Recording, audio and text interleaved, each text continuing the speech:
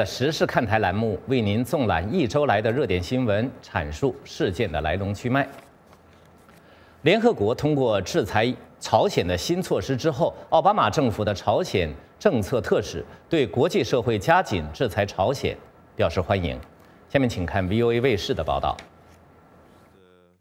奥巴马政府的朝鲜事务特使、国务院朝鲜政策特别代表葛莱恩·戴维斯在参议院听证上赞扬了国际社会加紧对朝鲜制裁。他说：“朝鲜的挑衅行为不容忽视。朝鲜政权必须在挑衅与和平、在孤立与融合之间做出选择。如果朝鲜继续寻求核武器威胁他的邻国、践踏国际准则、压制自己的人民。”拒绝履行职责和承诺，他就无法实现安全、经济繁荣、融入国际社会。联合国安理会三月七号一致通过决议，对朝鲜实施新的强硬制裁，这是对朝鲜上个月违反国际规定进行核试验所做出的回应。美国驻联合国大使苏珊·赖斯说：“新的制裁措施会对朝鲜造成有力打击。”国务院朝鲜政策特别代表戴维斯希望中国能真正落实对朝鲜的制裁。有迹象显示，中国对朝鲜问题更加积极。中国方面表示，他们会落实这些制裁措施。我们应当相信他们说的话。就在安理会通过决议前不久，朝鲜威胁要对美国实施先发制人的核打击。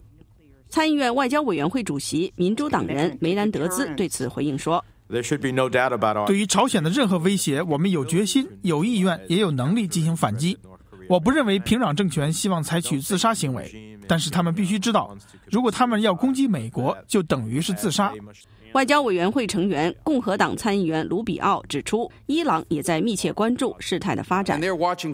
他们在密切关注国际社会如何对待朝鲜。然后决定他们自己下一步的行动。国会众议院外交委员会在三月五号举行了对朝鲜政策的听证。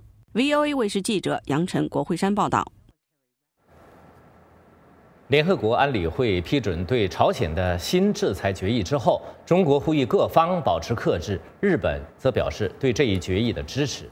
以下是美国之音 VOA 卫视的报道：朝鲜威胁废除朝鲜半岛停战协议。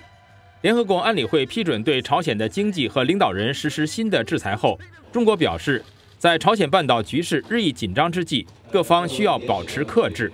当前半岛形势高度复杂敏感，维护半岛和东北亚地区的和平与稳定，符合国际社会的共同利益。中方呼吁有关各方保持冷静和克制。避免进一步采取可能导致局势升级的举动。其实我们此前也在这儿多次说过，中国和朝鲜是正常的国家关系。同时，我们也坚决反对朝鲜进行核试验。我们也主张坚决地实现半岛无核化。中国是朝鲜最大的援助国，中国和美国都参与起草了联合国的新制裁决议。制裁将使朝鲜更难取得核项目相关的材料和资金。正在北京参加全国政协十二届一次会议的原国防部外事办公室主任钱立华少将说：“所以我们还是要密切的注视，呃，朝鲜局势的发展走向。我想在目前这种非常复杂多变的情况下，呃，各方还是要冷静。如果有一方呃出现不冷静，或者是一方这个误判了形势，将会导致朝鲜局势发生呃灾难性的后果。朝鲜上个月进行核试验以后，日本星期五表示对联合国安理会批准对朝鲜迄今为止最严厉的制裁表示欢迎。日本欢迎联合国谴责朝鲜核试验并加强制裁的决议。预计日本将与其他国家协调，确保协议中的制裁措施有效执行。同时，还将实施日本方面对朝鲜额外的制裁措施，以此施加压力，使平壤放弃核项目。日本外务省的一名消息人士说，日本政府内部担心朝鲜可能会违抗联合国决议，再次进行核试验。美国之音 VOA 卫视报道。中国人大会议星期二开幕，中国政府誓言打击腐败、改善环境问题以及促进经济增长。详情请看美国之音 VOA 卫视的报道。数千名来自中国各地的人大代表齐聚安全戒备森严的北京，出席为期十三天的全国人大会议，同时完成十年一度的政权交接。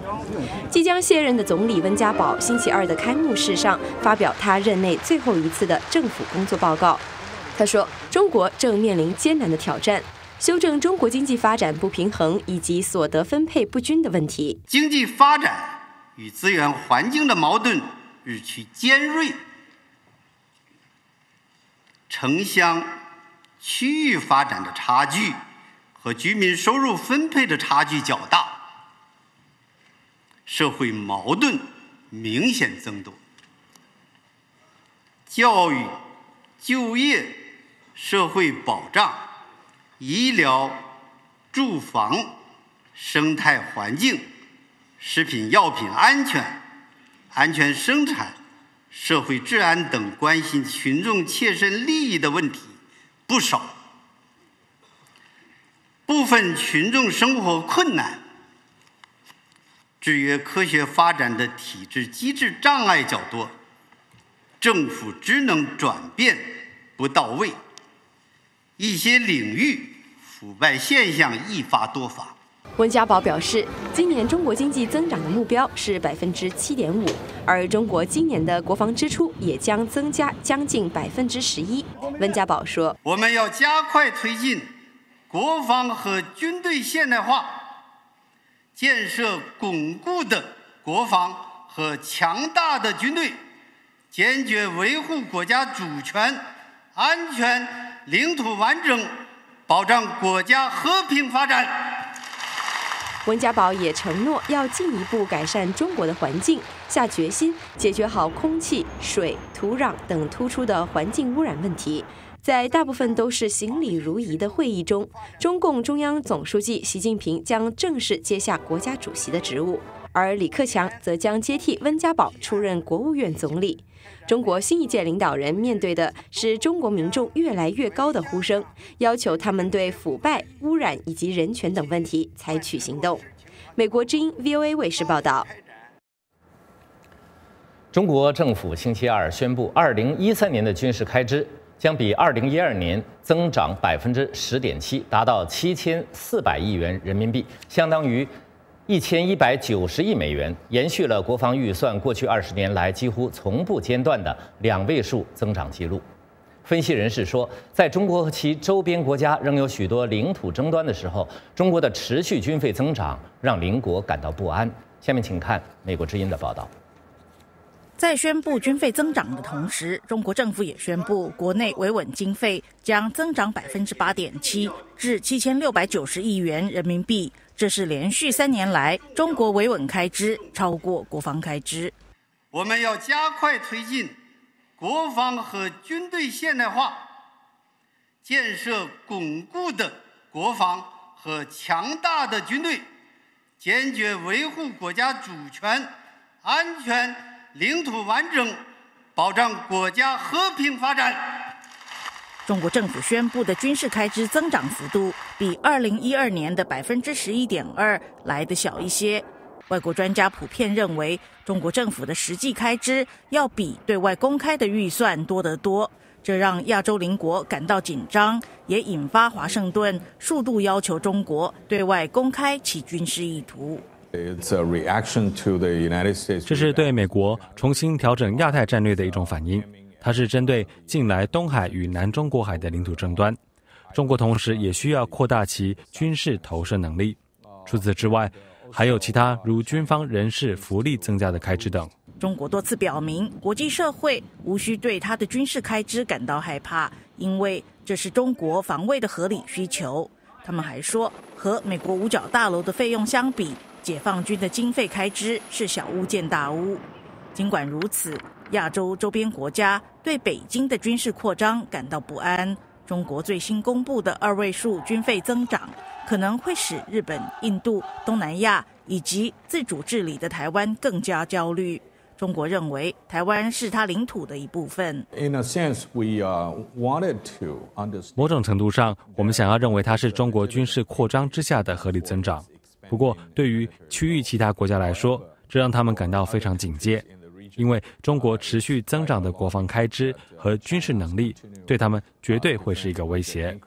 日本和中国正因东海岛屿主权争端僵持不下，越南、菲律宾和其他国家也对北京坚称一大片可能蕴藏丰富石油和天然气的南中国海为其领土提出挑战。过去六个月来，中国与日本在东海的岛屿主权争端变得更为激烈。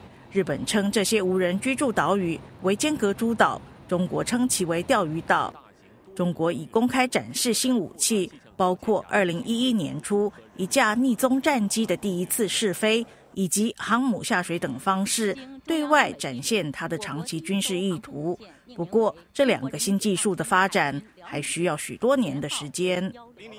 另外，北京的海军现代化还包括建造新的潜水艇、船舰和反舰弹道导弹。美国之音 VOA 卫视报道。香港民运组织香港市民支援爱国民主运动联合会星期二在第十二届全国人大一次会议正式开幕的当天，游行到中央驻港机构中联办。支持天安门母亲运动的诉求，要求中国政府成立委员会调查六四事件，尽快落实人权公约，释放意见人士和实现司法独立。下面请看美国之音记者谭佳琪从香港发来的报道。党支联会和多个关注中国人权的团体，三月五日下午十二点，从港岛西区警署游行到中联办。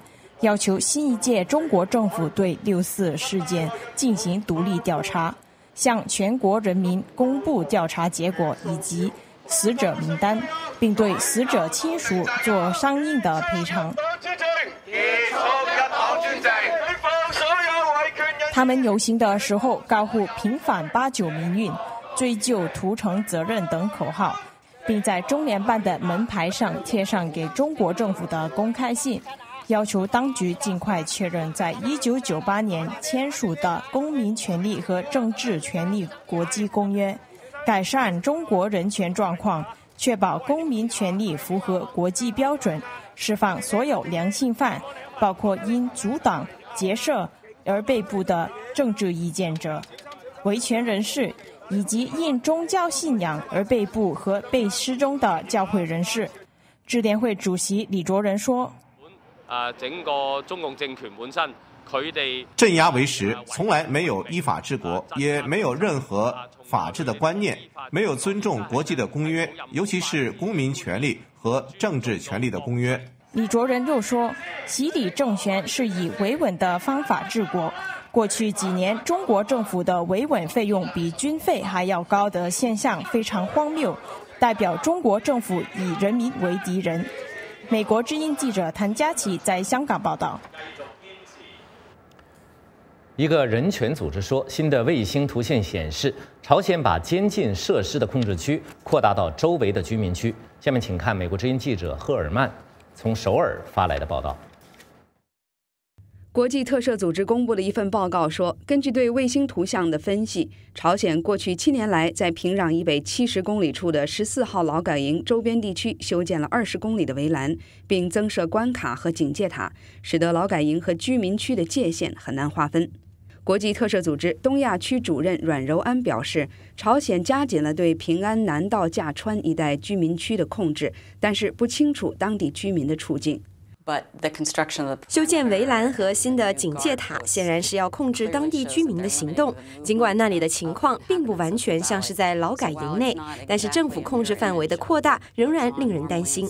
如果朝鲜其他地方也出现这种情况，就说明朝鲜违反人权的现象正在恶化。据估计，朝鲜的各类劳改设施中关押了至少二十万人，劳改营里常常出现被强奸、拷打、处死和奴役的情况。总部设在伦敦的国际特赦组织呼吁联合国人权理事会在日内瓦召开的年会上启动一个国际调查委员会，调查朝鲜严重和蓄意侵犯人权的状况。国际特赦组织在公布这份报告之前，朝鲜否认有关劳改营的指控。国际特赦组织表示，平壤的人权状况恶化是因为政府要加强对民众的控制，以确保金正日去世后稳定的政治过渡。朝鲜侵犯人权的行为很多是在领导人更换之后发生的，这是要确保稳定的过渡。我们担心这种情况会继续下去，而且会更加恶化。国际特赦组织说，很多被关押在朝鲜劳改营的犯人并没有犯罪，只是因为政府认为他们不够友善而被处以刑罚。以上是美国之音 VOA 卫视的报道。